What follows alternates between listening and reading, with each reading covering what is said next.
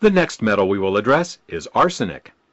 Arsenic is found in cigarette smoke, laundry detergents, beer, seafood, colored chalk, wallpaper, wine, and drinking water. Thus we are exposed to this poison in the first and second hand smoke we inhale, the beverages we drink, and even the clothes we wear. It accumulates in the kidneys, liver and lungs, and it causes headaches, mental confusion, and fatigue. Let's talk about cadmium. Cadmium is found in soft drinks, cigarette smoke, water softeners, rubber, motor oil, pesticides, fungicides, carpets, rust proofing, silver polish, and plastics.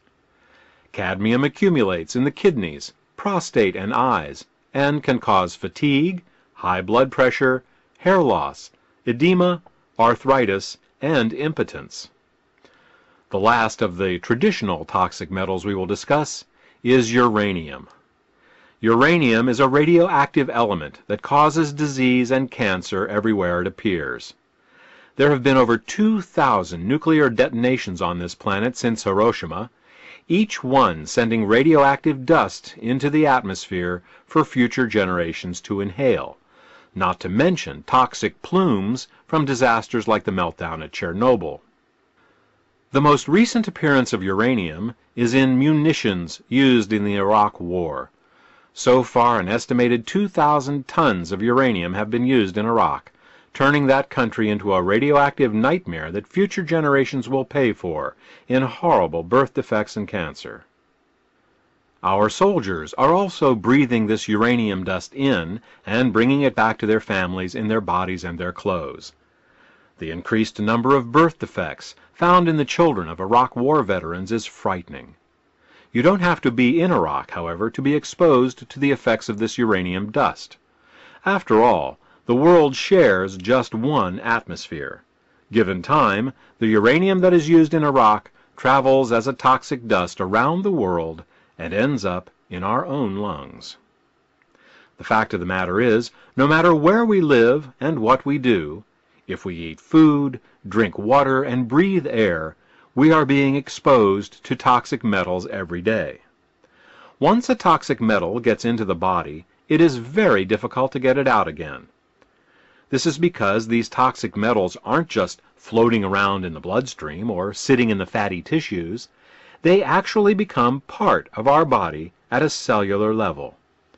This happens because to your body, toxic metals look just like other elements, elements we need, this is due to similarities in atomic size and electron configuration.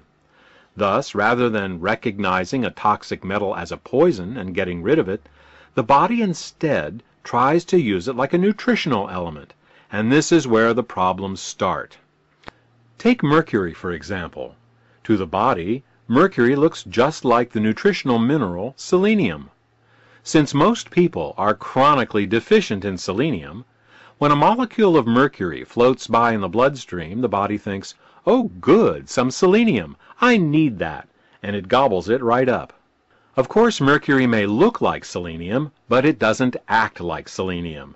In fact, in many ways, it is the exact opposite of selenium.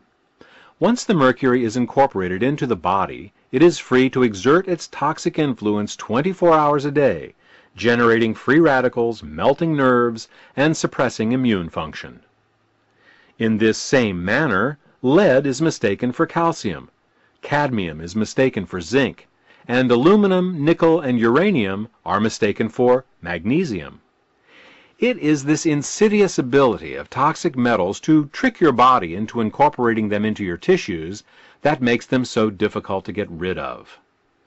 All right, We've covered the traditional toxic metals. Now